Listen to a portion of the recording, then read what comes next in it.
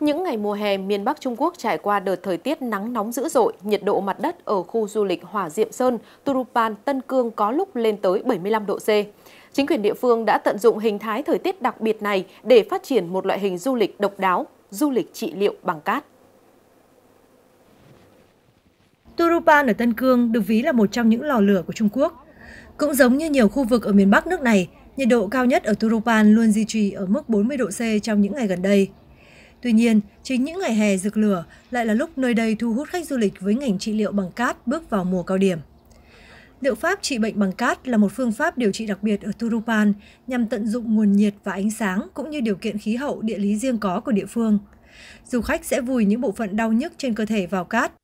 Dưới nhiệt độ cao và khô hạn vào mùa hè cùng tác động tổng thể của ánh sáng, sức nóng khô, áp suất và từ tính, các căn bệnh như viêm khớp dạng thấp, thoái hóa đốt sống cổ sẽ được cải thiện. Vùng đất này rất khô, tôi đã đến đây để được trị liệu bằng cát trong 2 ngày.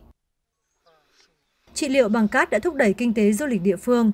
Nhiều người dân tại đây đã mở các khách sạn gia đình và nhà hàng để phục vụ du khách đến trị liệu. Món ăn đặc trưng là trứng vùi trong cát. Tháng 6 đến tháng 9 hàng năm là thời điểm vàng cho liệu pháp trị liệu bằng cát nóng. Năm ngoái, chúng tôi đã đón 100.000 lượt khách du lịch. Năm nay dự kiến sẽ đột phá hơn.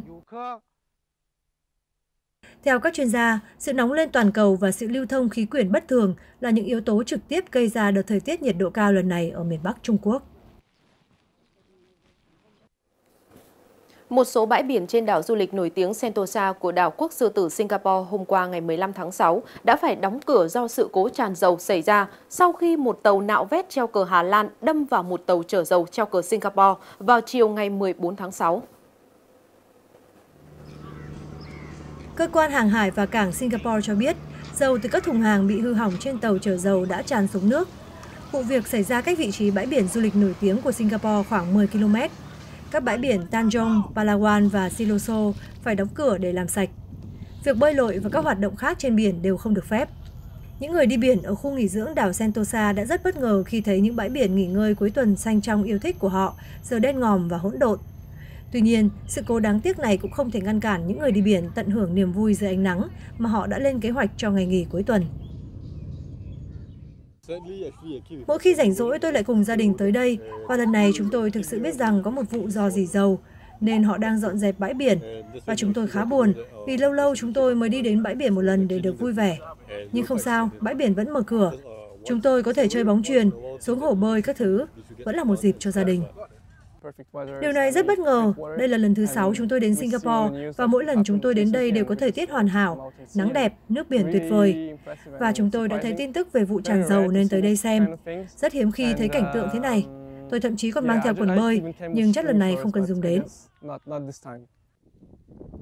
Chính phủ Singapore đã triển khai 16 tàu ứng phó sự cố tràn dầu, phun chất phân tán dầu và thu gom các vết dầu loang trên mặt nước, đồng thời khẳng định vụ việc không ảnh hưởng đến giao thông hàng hải. Hoạt động cập bến tại cảng Pasir Panjang Terminal vẫn không bị ảnh hưởng.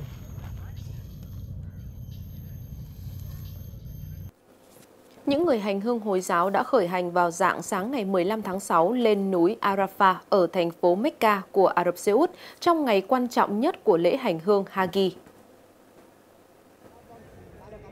Lễ hành hương Hagi được xem là một trong những bổn phận cần được thực hiện một lần trong đời đối với mọi người Hồi giáo khỏe mạnh và có đủ khả năng chi trả.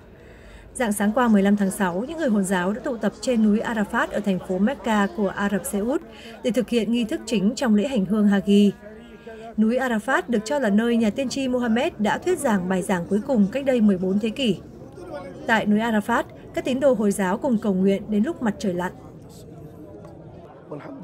Lễ hành hương Hagi là trụ cột thứ năm trong đạo hồi.